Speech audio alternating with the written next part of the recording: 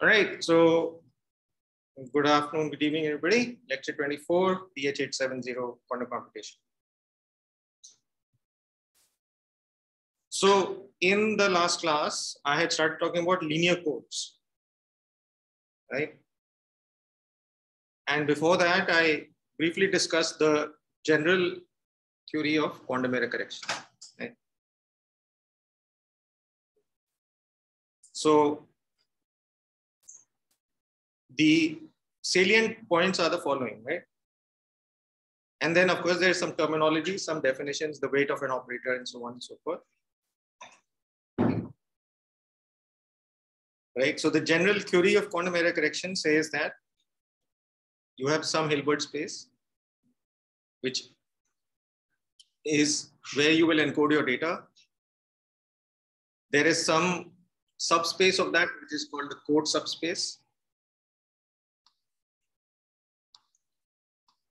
And there is, there is a set of operations which are, which are the errors. And there's a set of operations called the recovery. The recovery and the error oper operations should satisfy this requirement for all states in the code subspace, which is uh, obvious, right? It's a tautology. So the non-trivial condition is the following, right? Is this, right? And so this equation encodes is the mathematical expression for two conditions, two physical conditions. The first is that the errors should not overlap, right? If you have an error on a code word and a different error on a different code word, the resulting corrupted states should be orthogonal to each other. Because if they are not orthogonal, you can't correct errors. And the second thing is for different errors on the same code word, the result should not depend on the code word. Okay. So for this second condition, I think I've not given such a physical or intuitive explanation. Um, if I if I happen to come up with something, I'll, I'll, I'll share it with you. And if you do, you share it with me. Now, there is a very general procedure for constructing codes, which is based on linear coding theory. So the theory of linear codes says basically that you have some k bits of information and you encode that into an n bit code space. So now we're talking about classical bits at this stage. What happens is that as we study this theory, we uh, reach, uh, we, there's a concept called dual and self-dual codes. And when we get to that, it turns out that it becomes very easy to, to take such dual and self-dual codes, classical codes, and quantize them. So you can construct families of quantum error correcting codes directly from and there's a large library of, right, huge amount of work has been done on linear codes, classical codes. So the code, this theory says that you have a generator matrix, which is an n by a k matrix. The way I've drawn it is slightly misleading because k is less than n, right? So it should be like this because, right? And then the way you encode something in the in this is that you take some message, right? It's a k k bit message, so it's a vector, a k bit vector, and you multiply it by this matrix. You get an n bit vector. That n bit vector is your encoded vector, encoded message right? So this is where we were yesterday. As an example, right? So this is called, this is the six two code, six being N, two being K. right? And this is our generator matrix. So our possible messages, since we have two bits, these are the set of possible messages. When we act upon this with G, these are the outputs, right? So these are the uh, these are the code words, right? And the set of possible code words, right, corresponds to a vector space. What is that vector space? It is a vector space which is spanned by these two column vectors, right? These are two column vectors. So any two vectors or any n vectors, whatever, will give you a vector space as long as they are orthogonal. And you can see these two vectors are orthogonal, right? They don't have any components in common. And this vector space is a vector space over the field Z2. Okay, so that means alpha beta are ele elements of Z2, 0 or 1. And all addition, subtraction, everything is done modulo 2. So if you take these two as your basis vectors and alpha beta, your set of coefficients, you take all the possible set of coefficients, which is what? 0, 1, 1, 0, 0, 0, and 1. So all of the vectors, right? In this case, this vector space only has four vectors, right? It's still a vector space. It, all the usual um, rules of a vector space apply to this. You can take an inner product, you can have an orthogonal basis, everything, all of that you can do. So this set of possible code words corresponds to vectors in this, in the vector space spanned by the columns of the generator matrix. So this is where we were yesterday, right? Now the question is how can one uh, decode such a message, right? First of all, if there is an error, how do you determine what an, what uh, what the error is and how do you correct it? So for this purpose, we introduce another object which is called the parity check matrix. Okay, so we have the generator matrix.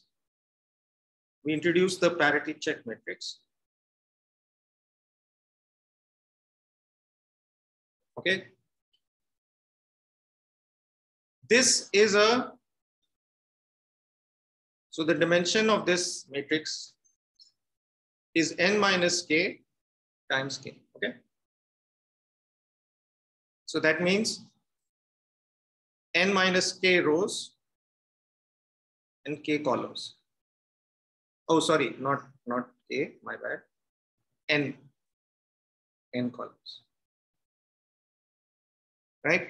And just to, for reference, let's see what the generator matrix is. It's an n by k matrix, right? So n rows and k columns. What is the what is the procedure for for encoding? We have a message, right? X. This is our message dimension of X. Uh, Utsav, can you please just open the door a little bit because I think if the AC keeps running, I think it will become very like. So dimension. So this is a this is your message, right? Which you want to encode. How do you encode it? Right? You take the generator matrix act on X. This gives you Y. Dimension of Y is equal to N right? And this is your encoded message. You have taken k, you have taken a k bit message and encoded it into an n bit vector, right? Now, how do you decode it? Well, first you want to, uh, so you want to see if there is an error, right? So let's say there is an error. And that error changes your corrupts your message. This is your encoded message. It is corrupted so that the new message is your old message plus some error, E. Okay. And for simplicity, we'll take E to be uh, an element of the n unit vectors. So what does that mean? If you have an error in the ith bit, right? Error in the ith bit. How do you represent that error? You represent it by a vector which is zero everywhere except in the ith index, right? Where it's one. So you have your, me your message, which is some n component vector. This is your encoded message. Then you have an error on the ith bit, right? What happens? You get y1, y2, yi plus, and remember which plus? Modulo 2. That is XOR. Right? XOR is what? It's addition mod, mod 2. Right? 1, 0 is 1, 0, 1 is 1, 1, 1 is 2. 2 more 2 is 0. So this becomes yi plus 1 and all the others are unchanged. Okay, so this is your this is your corrupted message. Okay, now what does the what is the role of this parity check matrix? This parity check matrix is of dimension n minus k times n. So you might think, well, it might have something to do with decoding the message. So we take this parity check matrix and we act on it on the corrupted message. We don't know if it's corrupted at this point. We just act on it with the message, right? So the setup would be that you have Bob over here, Alice over here, right? Bob takes some message, encodes it using the generator matrix, transmits it to Alice. In the process of transmission, there is some error that then how does Alice determine if the message is corrupted? Well, she has this matrix, this parity check matrix. She acts on the corrupted message with, with this, okay? So what is this? This is going to be equal to y plus EI, okay? So what do I mean by EI, by the way? Don't confuse this. This is just means EI is the vector is the with where only the ith index is one. Everything else is okay. So it's like a unit vector. So this is equal to hy. Yes. Okay. Now we impose the following condition. We require that so far, we have not said anything about what sort of condition is satisfied by this H matrix, right? We require that H acting on Y is equal to zero for all Y in C. Where what is C? C is the set of all the code words, right? What are the code words? What is the set of code words? It is a set of all messages acted upon by the generator matrix. That will give you the set of the code words, right? So this means that all code words, another way of saying this, live in the kernel of this matrix H. Okay, so the kernel of any matrix is the set of vectors which are annihilated by that matrix. Okay. Um, as an example, I mean, if you want to just look at a very simple, let's say you have a matrix, which I'll write like this. Um, okay. I want to ask what is the, the kernel of this matrix? So if you take A and you act on 0, 1, right? You get 1, 0. And if you take A and act on 1, 0, then you get 0. So this is the kernel of this matrix, right? This vector.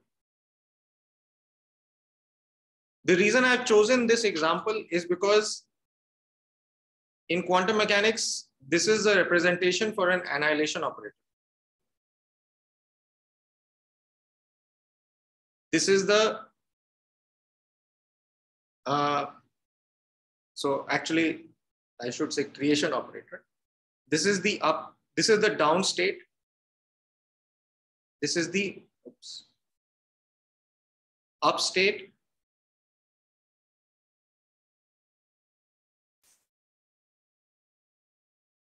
Right, so the creation operator takes a down spin and converts it to an up spin and it takes the up spin and converts it to zero. In the case of spin one half system. If you are not, you don't have the physics background, you don't follow this, don't worry about it. Okay, this is the physics people here. Even the physics people don't have physics background sometimes. So. Anyways, so you understand the kernel is the subset, is a subspace which is annihilated by any matrix. Right? You, you understand, right, that given any matrix, given any matrix, there can be some set of vectors on which the action of that matrix gives zero, right? That set might be zero. But if it's not zero, as in this case, then what happens is this condition implies that what is the action of h on the y prime, which is the corrupted message?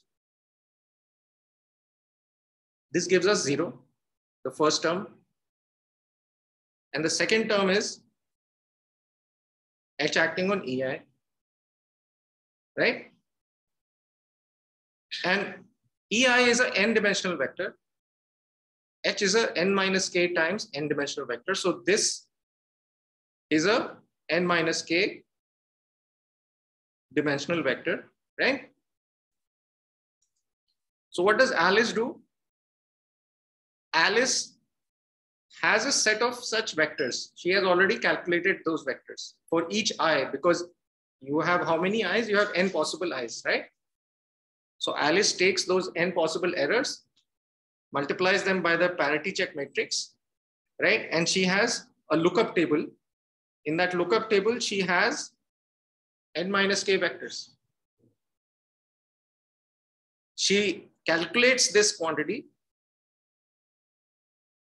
right? If this quantity is zero, then again, under the assumption of single qubit or single bit errors, she is happy. We take the message to be unchanged. If it's not zero, then she compares it compares the result to her lookup table. She sees which index does this correspond to. Whichever index it corresponds to, she flips that bit. Right? So error correction is done.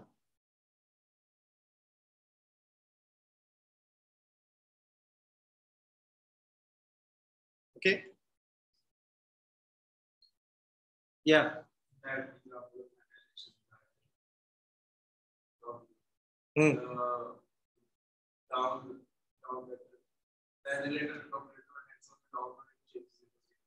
Oh yeah, yeah, you're right. So,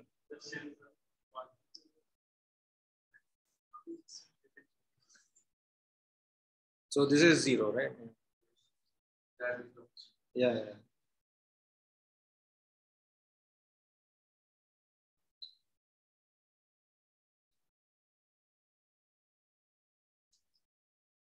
Yes, sorry, I don't know.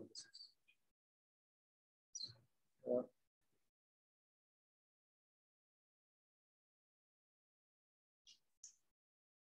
yeah. So this is in this case, yeah, this is the annihilation. Okay. Now it takes a little bit of time just to get the steps in your head. So let you know we can again just for the sake of completeness, we have a message, a k-bit message, x. We encode, right? Multiply by the generator matrix. We transmit, right? Or process or do whatever. And in that process, there is some error. And then we have this parity check matrix. The parity check matrix acting on this is not zero only if there is an error, right? Because all of the code words, why? They lie in the kernel of H.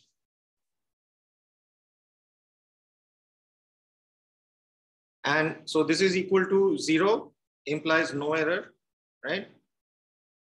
not equal to zero implies error. Use the lookup table, right? Because you have the list of possible outcomes of H acting on any error, and then you perform the correction accordingly. Okay? Now, now there is a lot more uh, to be said about linear codes. Like that, there, you know, first the the reference that I'm using is Nielsen uh, and Chuang, and and and there are it has lots of exercises which show all the various properties of these codes. But I'm not covering all of that. Okay. Uh, because, well, if I did, it would take too long. Um, now, but this is just to give you the, the general picture of what the linear code is, okay? Now, um, so we need a couple more uh, ideas, concepts as we go forwards. The first concept is that of Hamming distance. So Hamming distance is named after a gentleman called Hamming, who in 1950, I believe, uh, gave the Hamming code. So what is the Hamming distance? Well, first of all, again, we're talking about bit strings, okay? So we have X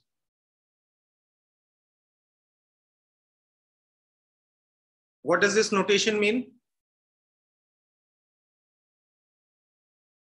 This notation means an element either from 0 or 1 n times. Right? So that means this is basically the set of set of strings of length n, bit strings of length n, right?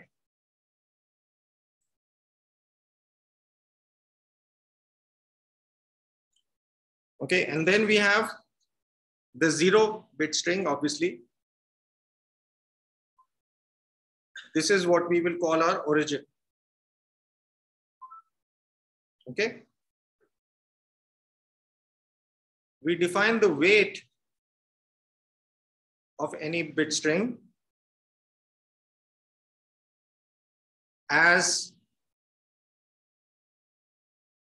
the number of non-zero bits in the string. So for example, weight of 011 is 2. Okay. Now, if you have two different bit strings, okay, so y is also a bit string, the Hamming distance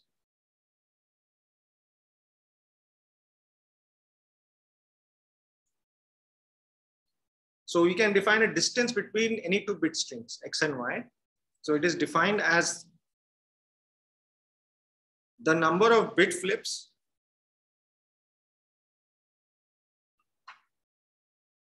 required to go from x to y or from y to x.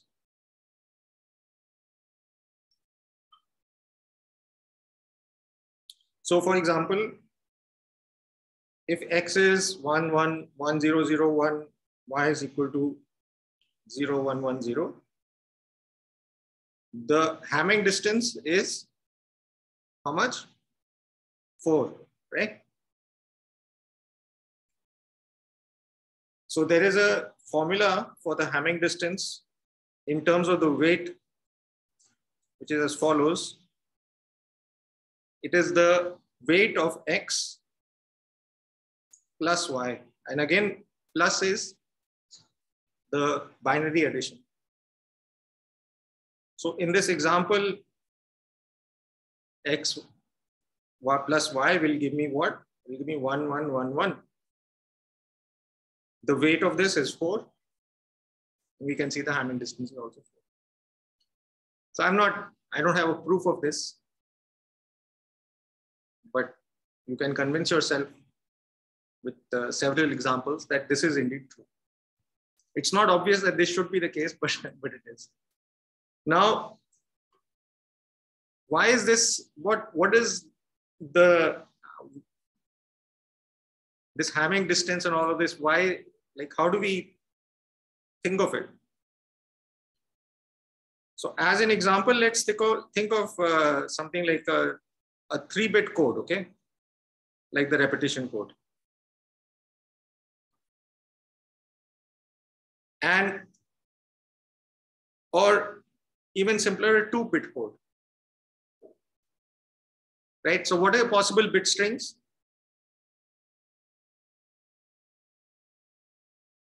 Uh, one one right? Now i will say that zero zero is my origin. Why did i use this term origin right because we have a vector space. And this Hamming distance is a distance on that vector space. What are the points of this vector space? These are the elements of that vector space. You remember from last time, the set of possible vectors is the constitute the vectors of, of some vector space right? So in this case, this is our origin. Then we have zero, one. Okay. One, zero, and one, one. Right? And we can go from one each point to the other point by one bit flip. So whenever, when you think of, of space, right, when you think of Cartesian space, for instance, right, you say two points are close to each other, right? If if the distance between them is less, right? So how do you define this distance? One way to define the dis distance is, I mean, we can't really measure distances like in the in the sense of like measuring the precise distance between any two points. What do we actually do? Right? We do the following, right?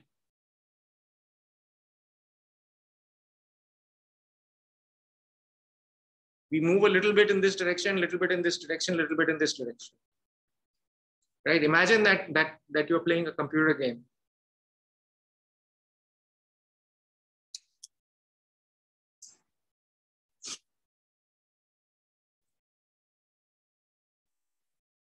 So like like you are in a in a in a on a pixelated screen. You can't go from one point to another point diagonally. You have to go like left, right, left, right, right? So if you have two points, right?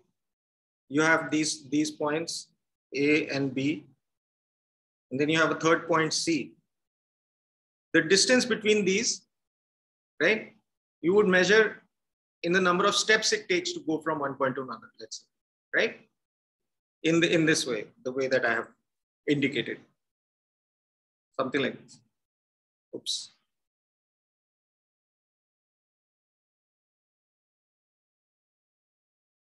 So when you talk about a discrete vector space like this, right? So this is a continuous vector space. In this continuous vector space, we can take limits and everything becomes a continuum. But if you have a discrete vector space, you can't do that. So you are left with this picture of where you have to go step by step only. But this is a bona fide vector space. There's it is a vector space in every aspect. Okay. So the Hamming distance between each one of these points is one. And the Hamming distance between any two points over here, zero and one, is when you go from here to here, the Hamming distance is two. Which in right? And so geometrically also this, this you can see is now this is for a two bit code. Now, what about a three bit code? A three bit code you can put on the corners of a, of a cube, exactly. Right? So this is your origin, zero, zero, zero.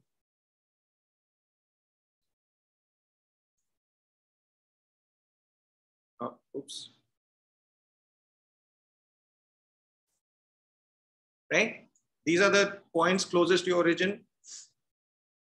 And then you can fill in the rest of the corners. So the corner furthest away from the origin will be 1, 1, 1. And this will be what? Well, you have, this will be the point which is two steps away from 0, 0, 1, right? So it has to be 101 Is that two steps? That's that's two steps. So exact diagonal opposite. Yeah, okay, good. Thanks. Exactly. Yeah. So these two points are diagonally opposite. So the geometric picture works. Right? So when you want to find a code um, so how many possible code words are there? Uh, so you have um, you have a k-bit message. Okay, let me let me get my uh, this thing right. Um, so what we want to do is the following. We have n and k right? And then we have a third parameter, which is D. We know what N and K are. K is the message length, N is the encoded message length. What is D? D is the Hamming distance, okay? The minimum Hamming distance between any any two code words.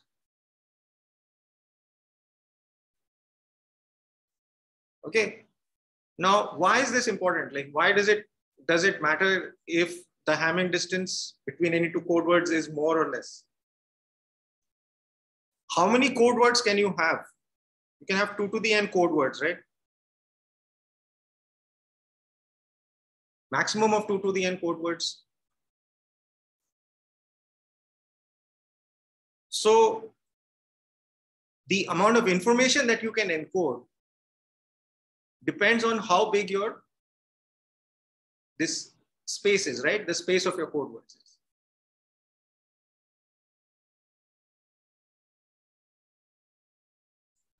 On the, uh, on the other hand, how many messages do you have? You have 2 to the k possible messages, right? So 2 to the k messages you have to encode in a space which is of dimension 2 to the n.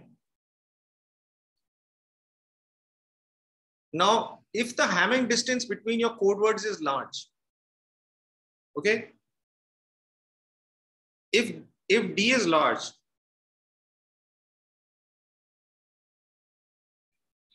for fixed n, for fixed n, then k will be small.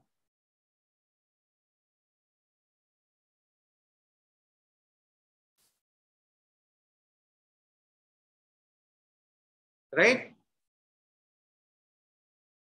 Because, for example, if you think about it in this repetition code, in the repetition code, in this three, three bit case, your uh, your code words are your possible code words are zero. Well, your possible code words is this entire space. Your actual code words, you know, the ones in which correspond to your logical bits is zero, zero, zero, and one, one, one.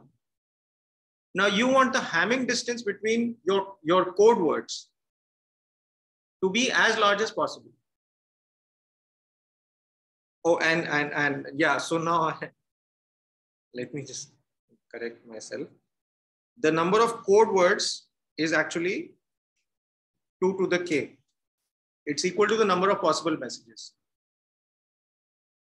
Right? So for instance, if I want to encode a one bit uh, message, how many possibilities are there? There are two possibilities, zero and one.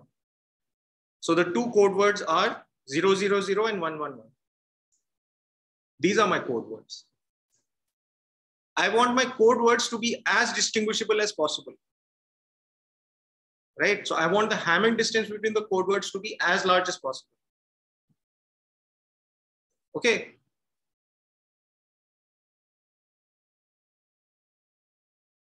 But um, so if you consider some some fixed okay so let me also rephrase myself. If you have for fixed k right and fixed d what will happen to n? N will depend on the size of k and the size of d right? As k increases n will increase. As d increases n will increase. And there will also be certain bounds. For instance, there will be values of k and d for which there is no n that is possible. Okay, so there is this uh, information density or coding this thing uh, efficiency, which is defined as um, k by n, right? So the number of uh, message bits divided by the number of by the encoded message length, right? So obviously you want this information density to be um, as close to one as possible. Because if it's small, the smaller it becomes, for instance, you're encoding a, a two bit message in a 20 bit string or a two bit message in a three bit string, which code is better? 2 by 20 and 2 by 3. Which one has greater information density? This one, right? 2 by 3. So you want this to be as close to 1 or as large as possible. But what happens is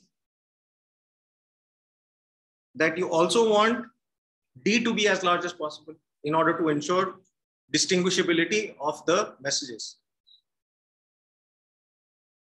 So in general, right, this is the problem is to find for given k, right, and for given n, to find the encoding which maximizes d.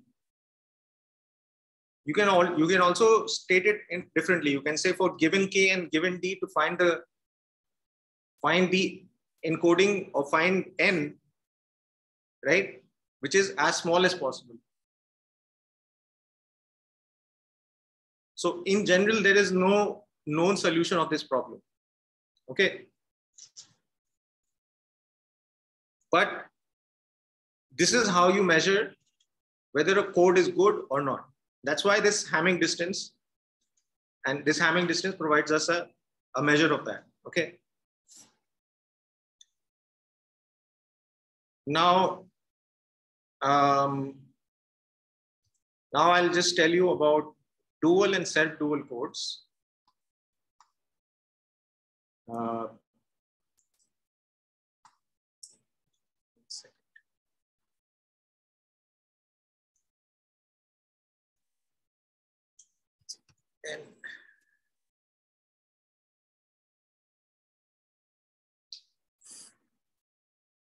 okay so if c is an nkd code with generator matrix. And i hope you all remember now what the generator matrix is what it does and a parity check matrix. H. Okay, so the full the full definition of the code is actually probably these five parameters.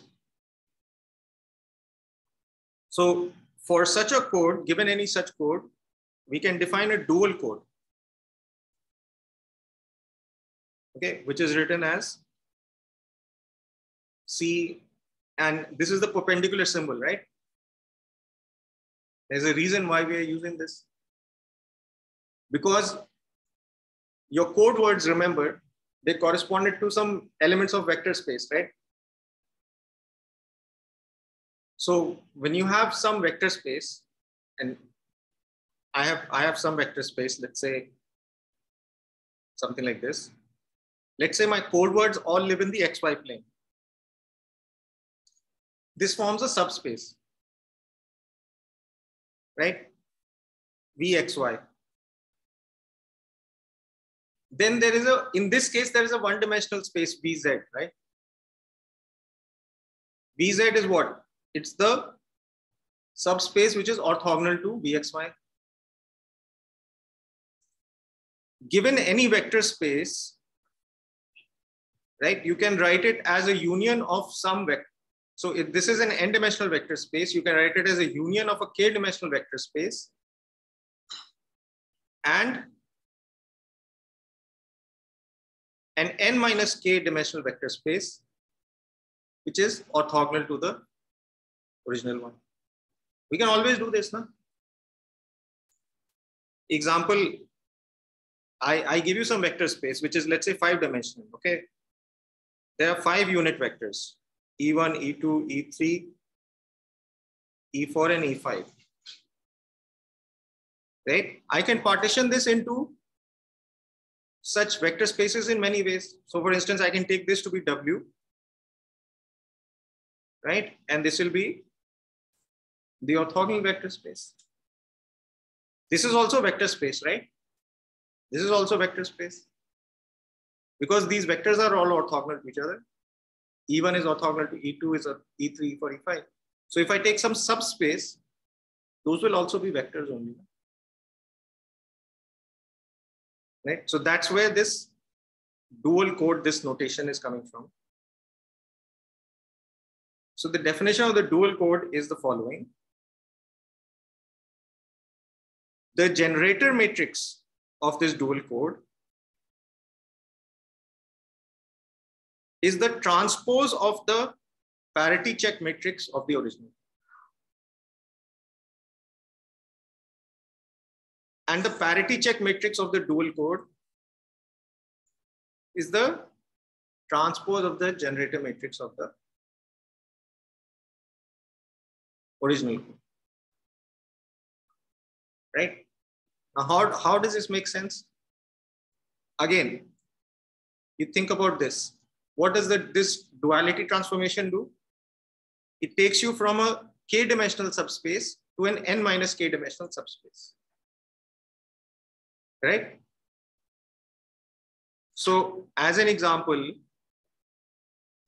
right, if you're if you have an nk code, your G is what? It's an n by k dimensional matrix. Okay, again, in your mind, just remember that G is doing the encoding. So it takes a k dimensional vector and gives you an n dimensional vector. So it's an n by k matrix. Your H is an n minus k times n dimensional matrix. Okay. Now, if you take the transpose of H, you get a n times n minus k dimensional matrix, right? By definition. And I'm saying that this is equal, this is the generator matrix of some dual code. So if this is the generator matrix of the dual code, right? What is my message length?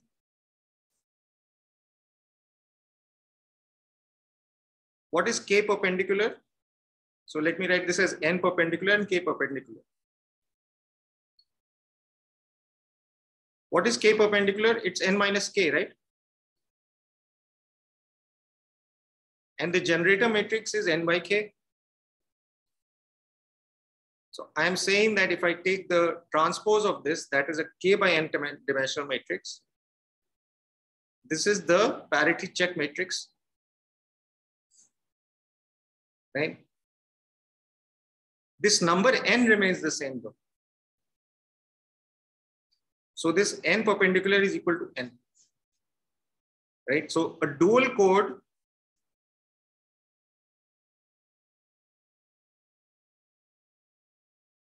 this is the code and this is the dual,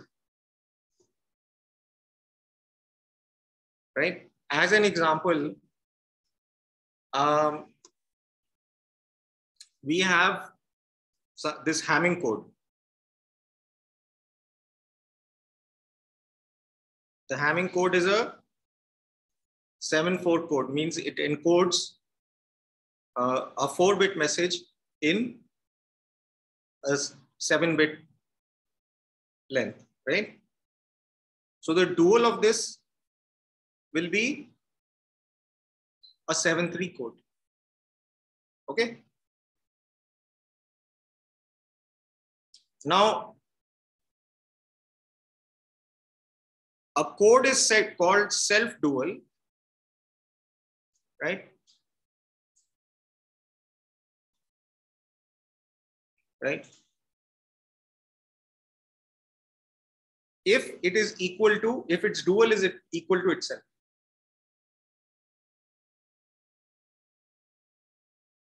And it is this construction which can be directly taken over to the quantum case. And this gives us something called CSS codes. CSS codes are stand for Calderbank, Shor, and Steane.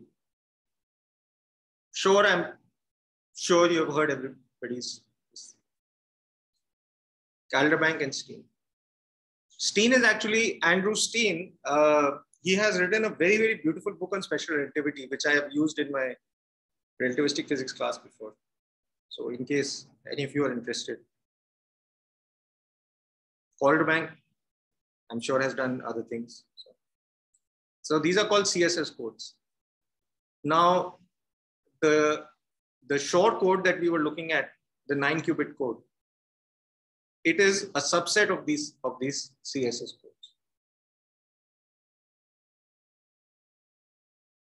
Okay. Um,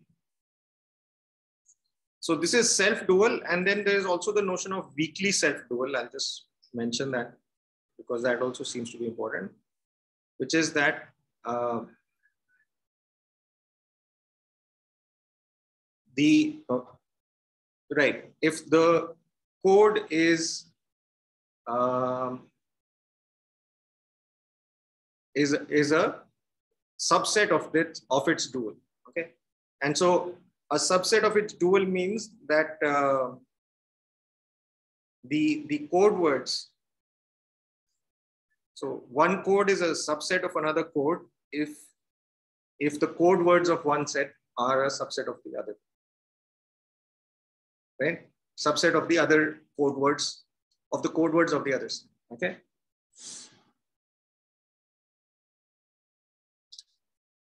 Now let me uh, show you how these css codes come about.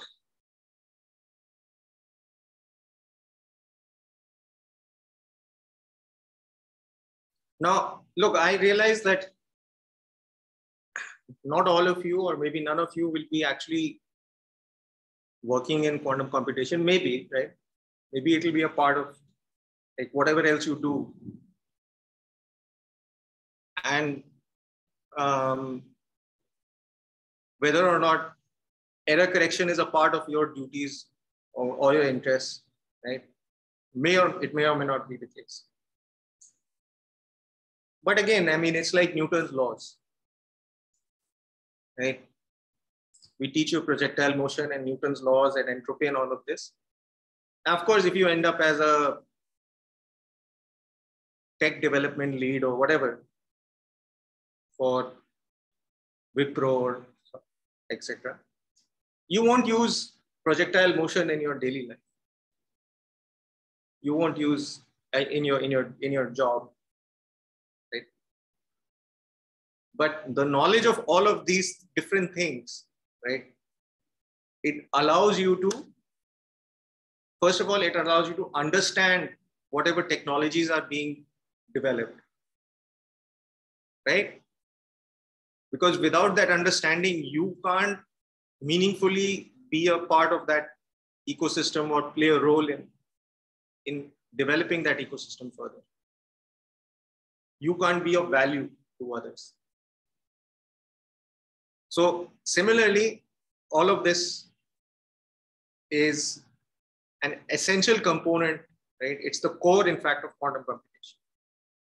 Because without error correction, you don't have computation at all. Okay. So, so that is the utility. And another reason is that since these sessions are being recorded, this also serves as a introduction to anybody online who's interested in these topics. And also for my own, my own self, because I'm also learning this process. So anyway, the point is that I'll be talking about these CSS codes and then what I'll do is um, in our next lecture, starting from Monday onwards, and I guess we have about maybe nine more classes left, if I'm not mistaken. So I'll, I'll go back and I'll start talking about quantum phase estimation. And then I'll talk about Shor's algorithm, which is the factorization algorithm. Right? Because that is uh, what is said to be the definitive example of how quantum computers can change everything, right?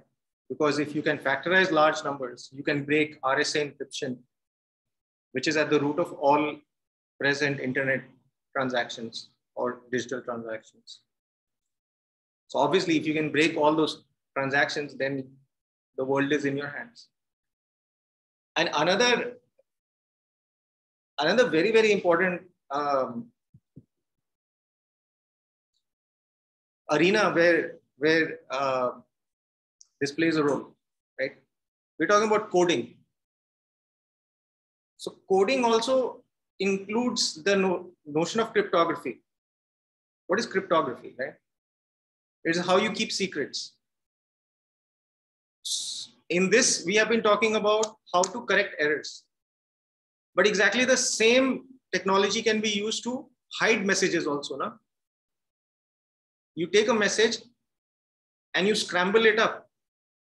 You take a k-bit message and you scramble it up and you put it in some n n bit string So somebody reading that n bit string, unless they have the parity check matrix, right, will not know what message it is that you're trying to transmit. So error correction becomes cryptography, right? Now, where does cryptography matter? It matters in all, all sorts of transactions, right? Obviously. But there is a much more, much more topical and much more, uh, what's the word for it? Uh, well, I don't want to use the word fun, but I'm referring to war. In, in particular, we have this conflict, right? Ukraine, Russia going on. And Russia has suffered a lot of losses, as everybody knows at this point, except for Putin. And one of the reasons they have suffered these losses is, you know why? Because the Russians don't have encrypted communications.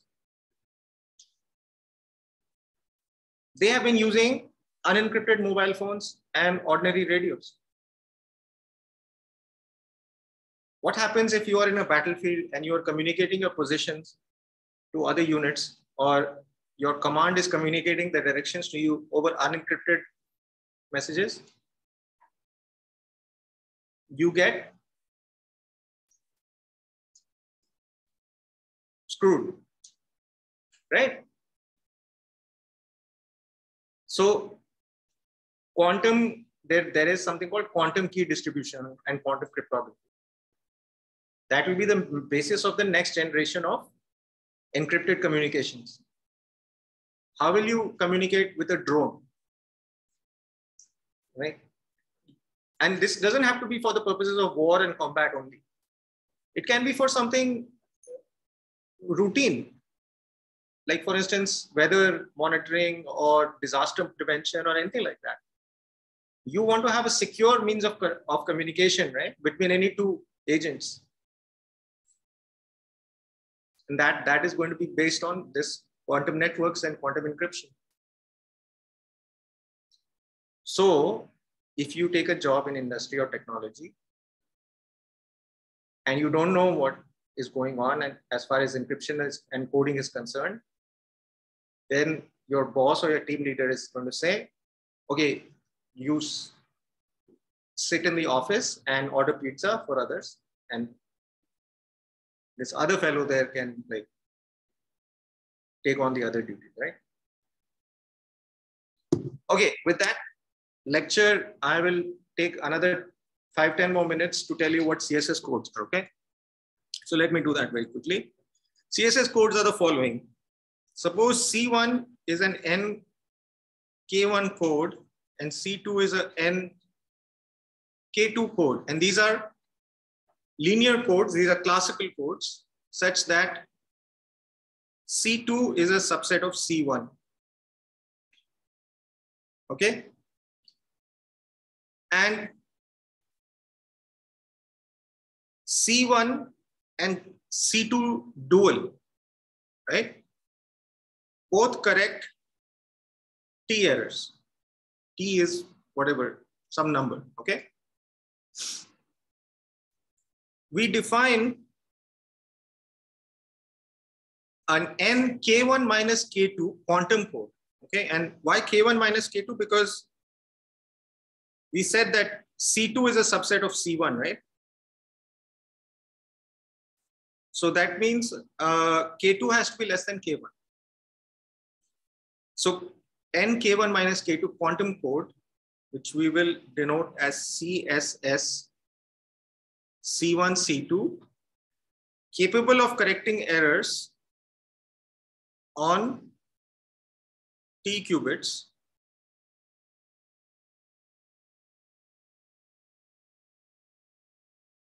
okay? And the terminology is that this is called the css code of C1 over C2. And the construction is as follows.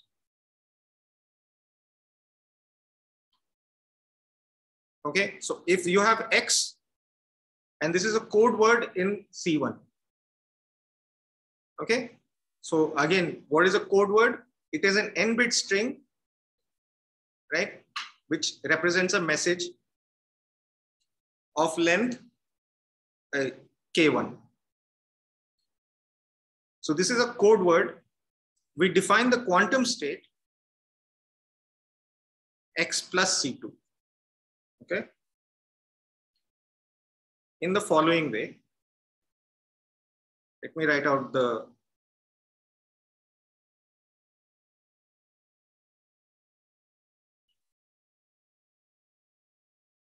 So this um,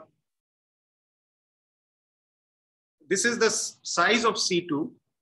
What is this uh, this norm of uh, yeah right, right. So this C2 is 2 to the power K2. Okay, it's the number of code words in C2. Y is the sum over all the code words of C2 and x plus y is the bitwise addition of these two.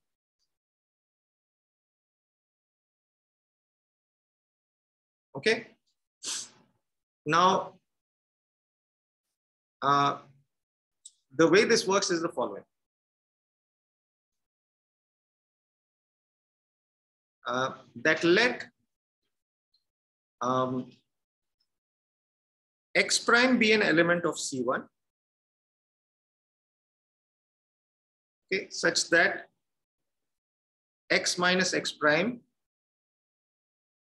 is a code word in C2. Okay, so again, C2 is a subset of C1, right? So, and I have two code words, x and x prime in C1, such that the difference of these two is a code word in C2. Then the claim is the following, that x plus C2 is equal to x prime plus C2.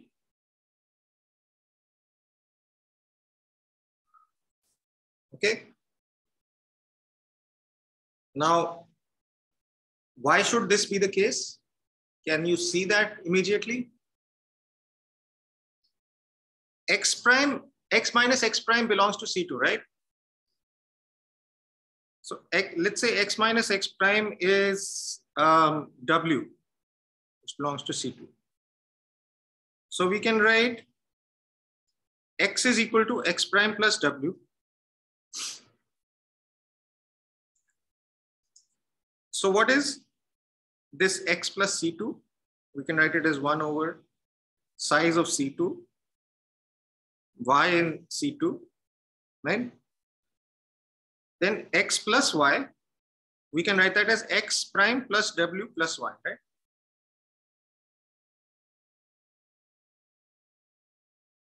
And we are summing over all the possible code words in C2, right? And what is W? W is also code word in C2. And all the code words, they, if you combine any of them, you get another code word. So this gives you, you can, you can rewrite this as 1 by root C2, summation of y prime C2, x prime plus y prime. Right? So this has the same form. Okay. It's like, it's like when you take, uh, take a function and you translate it right? So you have you have the integral of some function fx dx, right? You can also write this as integral of fx plus c uh, plus c dx, right? If you translate the limits, right? So if this is from a to b, then a minus c, b minus c, this integral is the same. That's somewhat what like what we're doing here, okay? So this, this state x plus c2 is equivalent to the state x plus c2, x prime plus c2, right? So in other word, this state depends only on x minus x prime is equal to w.